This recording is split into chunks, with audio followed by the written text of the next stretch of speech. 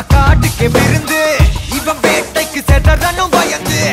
பெரும் புள்ளிக்கெல்லாம் முற்று புள்ளி எழுதி. கொடலும்